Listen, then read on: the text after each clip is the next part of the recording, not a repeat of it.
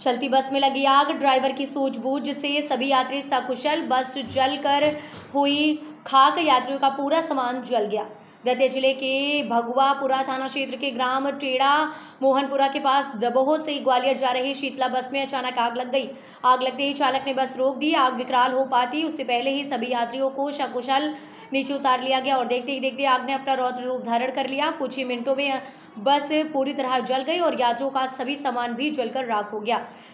रविवार सुबह करीब आठ बजे भगवापुरा थाना क्षेत्र के ग्राम टेढ़ा मोहनपुरा के पास दबोह से ग्वालियर के लिए आ रही शर्मीली शीतला बस क्रमांक एम पी ज़ीरो सात पी नवासी निन्यानबे में बाइरिंग से बस में आग लग गई। बस में आग लगते देख बस चालक ने बस रोक दी और सभी यात्रियों को नीचे उतार लिया। आग इतनी तेज़ी से फैली कि किसी भी यात्री को अपना सामान उठाने का मौका नहीं मिला। सभी यात्री का सामान बस में रह जाने के कारण वह जल गया। आग की सूचना पर नगर परिषद आलमपुर की फायर ब्रिगेड गाड़ी पहुँची और बस में लगी आग को बुझाने का प्रयास किया, लेकिन तब तक बस पूरी तरह जल चुकी थी। बस में, आपको बता दें कि बस में करीब दो दर्जन से ज़्यादा यात्री सवार थे। घटनास्थल पर थाना भगवापुरा पुलिस भी पहुँच गई थी। इंदरगढ़ से संवाददाता शिवरमन सिंह राठौर की रिपोर्ट।